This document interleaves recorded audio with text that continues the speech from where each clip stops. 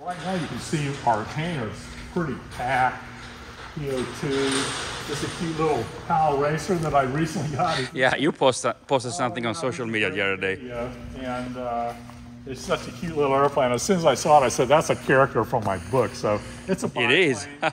yeah, the, little, the wings hook out here and it's up there. And, and I fit in it, which surprises me. So, There we go. Okay. oh my gosh. I don't know. I'm not sure. If I get stuck, you got to get me out. Yeah, we can call 911. Man, I can't Holy believe it. cow, he's I in there. fit. Oh, jeez. Yeah. I fit. Oh my god. No brakes, tail skid. Yeah, that's a cool video. Yeah. One of the things that we're going to do is, uh, you know, this is going to be in the long run uh, the key number one experience in Act Three for Fantasy of Flight, and it's going to involve uh, basically a C-47. And uh, the title of it is not the C-47 experience; it's about the human experience. And it's basically, and the aviation enthusiasts can interpolate where the, where the story's going, but it's basically jumping into the darkness, journey into the unknown. So you can imagine what Sure. the story's going to be. And what we're going to do in the long run with Fantasy of Flight, the airfield is going to be a real airfield, okay? And the real airplanes that fly are going to be in the hangars and stuff, and we'll pull them out. But what's going to happen is, is like in the C-47 uh, experience, you know, that would be jumping into the darkness. What's going to happen is this airplane will be sitting in the corner, but back there, what will happen is where it says fighter town, the carrier deck door, you'll you'll go in there and it'll be basically like a sound stage, a, a studio, to where you're going to go into an, an immersive experience and experience something. And one of the things that I'm I'm adamant about is I'm not going to have any lines, okay? I'm going to respect your time if you respect my time. And what'll happen is I'm only going to sell my capacity. So if we only have, you know, 300 things in there, that's all I'm going to sell all day. And so if you come in and go, hey man, you know, there's an opening at 2:15, boom, I just booked my flight. Well, you show up here for your flight and you don't have to stand in line. Okay, so that's what I'm going to do. Gotcha. And they're not going to be, you know, stand in line for an hour and a half, four minute experiences, whoopie doo on a roller coaster. They're going to be immersive experiences that are going to be at least 30 to 45 minutes. And uh, one of the things that I hope to do is because I'm serious about having people discover themselves. One of the things I'm going to do is instead of running them through a gift shop to try and buy have them buy something else, I'm going to include a little talisman for each experience that, that, that is a reminder. So what's going to happen is there's going to be a base price to get in. And if you're just an airplane enthusiast and all you want to do is look at airplanes, that's fine. You're not going to do any of the other attraction elements, which I've only got a certain capacity. But if you want to do those, you can basically, you know, sign up or whatever. And so, you know, it allows me to have somebody that's an annual pass holder. They can come in, watch the shows, look around at the airplanes, eat in the restaurants that are all themed out, that kind of stuff. But the thing, cool thing is to say if you want to do something, you can come back all you want, and then come back and go, oh, I want to do that. There's an opening. Sure. Boom, I can Boom. do it. Okay. Makes sense. So anyway, that's That's uh, awesome. we have, oh, here we go. We're gonna let your viewers get a little bit of a quick deal. So this is the Travel Air Fokker, okay? And it's got a couple of bullet holes in there. So this is actually a Travel Air 2000.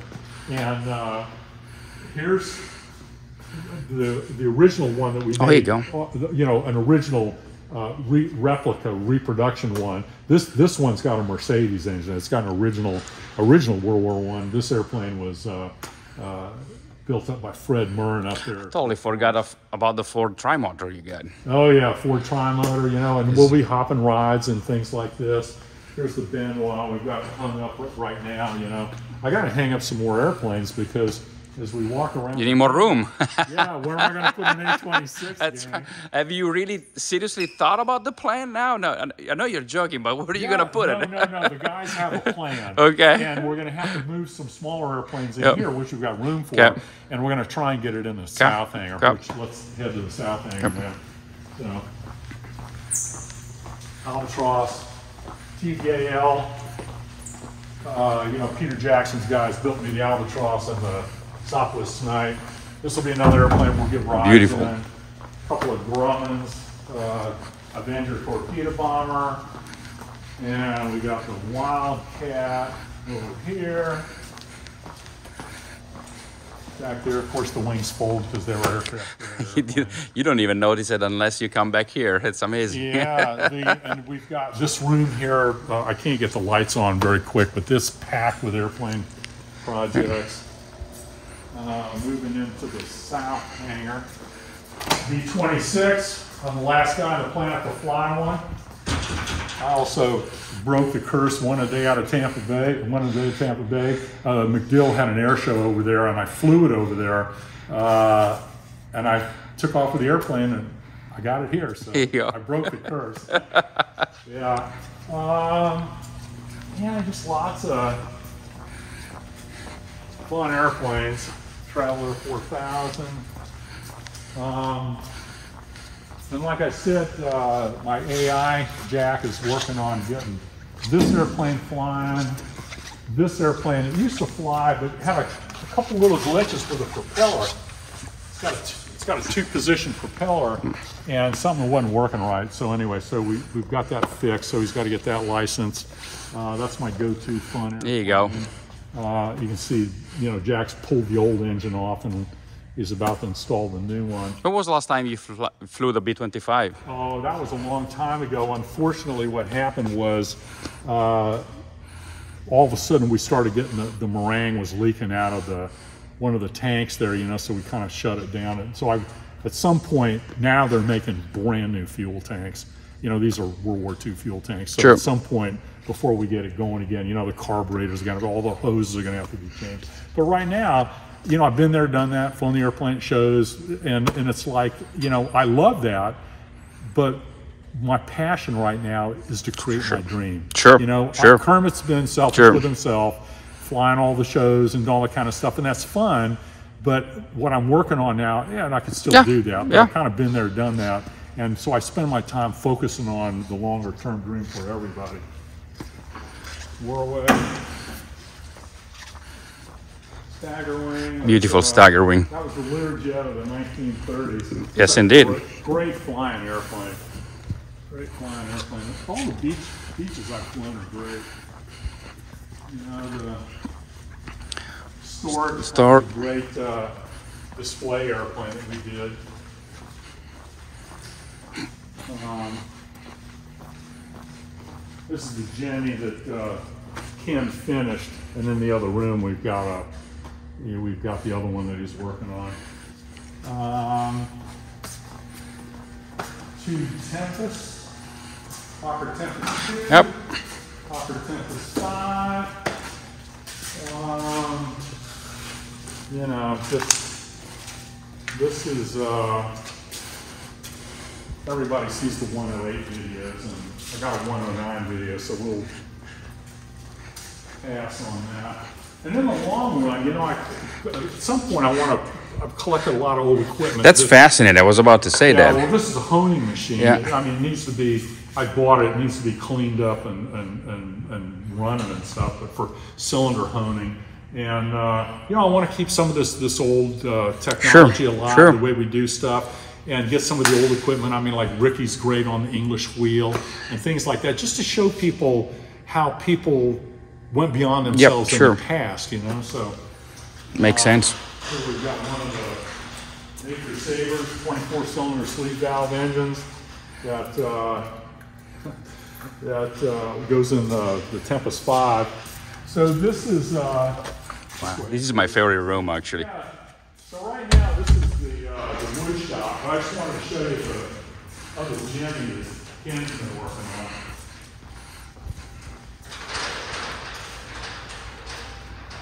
Yeah, so anyway, so he did a bunch of fuselage, you know, one set of wings, you know, it, unfortunately, they had an accident. Oh, I see that. And, uh, you know, went through some power lines or whatever. And the other set of wings, uh, they were, they were somewhat damaged. But, uh, but anyway, since Ken worked on this other one, he thought, well, hell, you know, let me just, let, let me fix up some of this other stuff here.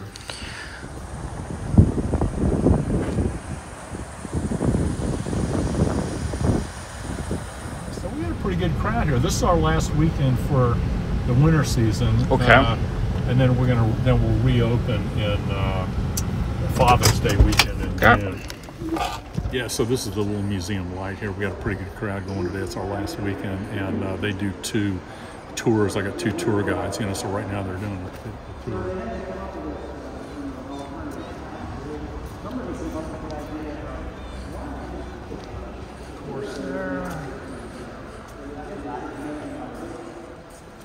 It's interesting. Um, so this is really, you know, to keep the gift shop going too, because I've got trademarks I need to maintain, keep my sign on the road. It's actually, I mean, we're actually paying the light bill for the employees and the, I mean, it's not paying property taxes and stuff, but uh, anyway, keeping things going. How y'all doing? Hi. Good, good, good. 24 minutes, 29. That was, this is the actual airplane that Scott Crossfield That's was amazing. dropped Yep. from to do his Mach 2 run. So those are all the drops. Scott had Oh, that's signed it here. I, uh, Paul Tibbets' signature is fading.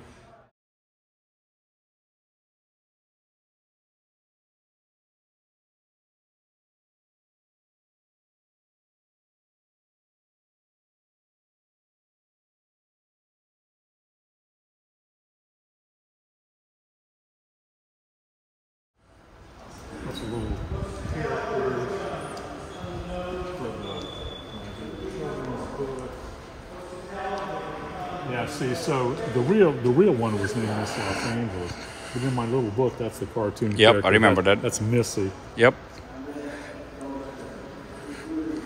This is a real one. This is the that's the B2. This is the original Brown One racer, and it actually won uh, in its class uh, an air race, uh, 1934 Miami air races. B24, and of course, you know I got videos on these. Yep, If you go to yep. Week's YouTube, you know you can look through all their different old engines. You know, this is Uh, just this is Anzani. This is what Yep. Blériot flew across the channel for the first time in, I think, 1908, 9, something like that. Well, this one anyway. It doesn't have a doesn't have a date on it. Uh, more characters books. Got the I-16 F3F. Flew this back from uh, California. Oh. This is kind of interesting. This is what's left of the original Vega fuselage. I've got great videos going on now. Kevin Kimmel's doing an amazing job. You know, did all this in CAD. He's machining some of the wood, and I mean, it's just amazing what he's doing. So, uh, th- you know, the, the woods now. This is the Lockheed Vega, right? Yeah, this is the Vega. Uh, there's a picture right there. And uh, so basically, um, you know, this had been patched up a lot. And at some point, you just got to go, you know, when's the wood too old? Not like, you know, yeah, I love to be flying a Mosquito again. Everybody asks me, but all the ones flying today are brand new Humboldt. You know, Sure. so my, my glue's 80 years old. Sure. Um, with the beads and the characters.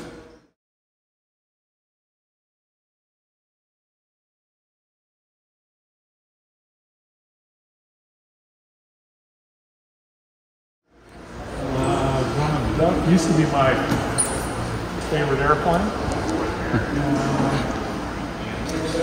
Another Gee Bee character. World War One P-47 out of Venezuela. This will be a great uh, project to do. It's there's really oh, other it's a little bit of skin work here and there. This will be a, an easy project. There is one spar cap we need to replace in one wing. that's Wow. corrosion, so- But I mean, you can't believe what some of the guys are rebuilding today. Sure. And, sure. you know, well, we, we are rebuilding the CAF one up in Atlanta now. Really? It got finally delivered to us in August and started to work on it. Yeah. Well, I tell you what, considering what the guys are putting money wise into the ones today, this was a steal when I I'm sure. Fire with Harlan. And uh, Of course. two P-51s. Oh, we're going to finish up with the NAR. Uh, Oh, here it is. Yeah, yeah, perfect. yeah. Yep. So, so this was my first fighter when I was 25 years old. I bought a AT6 to learn how to fly the way they did, and then ended up uh, gotten this when I was uh, 25 years old. Started giving rides. And then the P51C over there. Yeah, so here's the Nardi you were asking about. Yep. And it's just basically as we got it, we put it together, put it on display. They only built two. The the the main normal ones had a, like I think it was a four-cylinder inline engine, and uh, then they they built two airplanes with a radial that had more horsepower, and this one.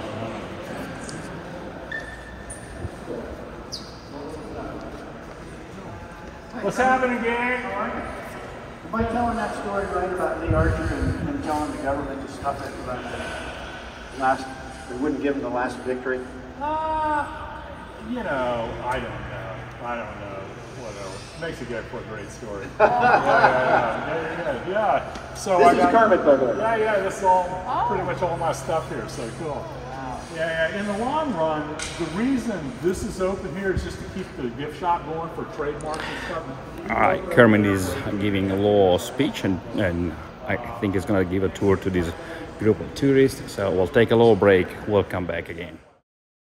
After so many years of collecting and buying airplanes, do you still have that fire inside you that when you see something, you tell yourself, man, I got to go, man, I got to go. Or, it, or it's more like a mature approach now, like you say, well, you know, I have a lot invested, and maybe it's not the right time. Well, yeah. There's a side of you say, you know, the, like the angel, angel. Yeah, yeah, yeah, yeah. One on each side. Yeah, yeah, yeah. So the reality is, I pretty much have most of everything. So there's not that much that floats in front of me to say I gotta have that. But there's a lot of airplanes that I would like to have in the future, but they're going to be available. You know, somebody approached me about one that I mentioned, you know, on a recent video here. You know, like an Aeronca C3. It would make a great character one day. I don't have the space Yeah. to store Or right that, now. that Caproni uh, seaplane that you and I talked about. Yeah, exactly. That would be a great airplane to have too, but I just don't have the room. Yeah. And and so this is my thought process now. I, I'm still funding this long-term dream of this health company I'm involved in, and what are people going to be focusing on in the future if this whole pandemic issue is a health problem within society? They're going to be focusing on health, okay? And I think when you start seeing some of the uh, ways I'm trying to say this in, in you know, not to get the uh, so- right? yeah, yeah, politically correct, right. If, if there's if there's certain industries that might be changing in the future, people might be working on focusing on more holistic approaches to their health and stuff. You know, Yeah. instead of popping lots of pills that Sure, uh, sure. you know uh, may have. a Well, we all hope that that will pay off because Yeah, well, if it does, if it does, then I'll be in a position to move forward with Act Three. Because one of the things that I've really felt strongly about is I'm never going to take on any investors. I'm going to do this myself because I don't want anybody to compromise my dream. If it's about this, it's not there. I want to, I want to create it about this, but it's got to be done in a way that this is also successful. Well, regardless of what the outcome will be, I just, I just, I feel like I can talk for the many aviation enthusiasts that uh, we all knew a bunch of gratitude because your dreams are our dreams. The way you share aviation and your vision, uh, uh, I, I think, I think it's great. A lot of others are more private. They don't share their, their life and their, their, uh, their goals, their adventures. So what do you do on YouTube, on social media, and, and the fact that I, I've, I've known of people that called you up out of the blue and say, "Can I come see your place?" Sure, come on in. It- My home is Yeah, yeah. your home in a way. Not, Yeah, not yeah, yeah. that, but That- that- yeah, sorry. Thanks for that. We'll, we'll cut it. We'll cut it. But now I, we do we do backlot VIP yeah, you, tours now. you, so. you do you do you do open your doors to to to fall. So Yeah. I, I think that uh, a lot of people watching this video will, will feel the same way. And we'll, we'll thank you for what Well, you do and, you. all these great Thank you. videos are awesome. You know, I mean, I get like 99% of my comments I get are great. People appreciate that, you know. But, uh, you know, if. What do you tell to those that say, "Oh, you should keep those airplane flying"? This is a great asset for you. Yeah, yeah. Well, then why not go bug the Smithsonian? They should be flying the Wright Flyer on the anniversary. Yeah. You know, fly the Spirit of San Write Diego. a check and they'll. Yeah. So they'll I'm. I'm doing the best I can with what I've got. And, you know, if, if people don't like what I'm doing, you know, then I have to question, you know, what are they doing to Yeah. do anything, you know? And if, and if you don't like what I'm doing, you know, go follow some other perceived Sure. billionaire, you know, that spends the time doing all these videos and editing things and sharing things for free. okay, so, you know, yeah, go find somebody else that's doing what I'm Well, doing. we're all your, your fans, so we hope Act 3 will come to uh, fruition uh, very soon. Thank you. As usual, thank you. So Yeah. I look forward to Yeah, yeah, yeah. Thanks for coming down. Appreciate it. Good to see you. Man, this is great. All right. You are the man.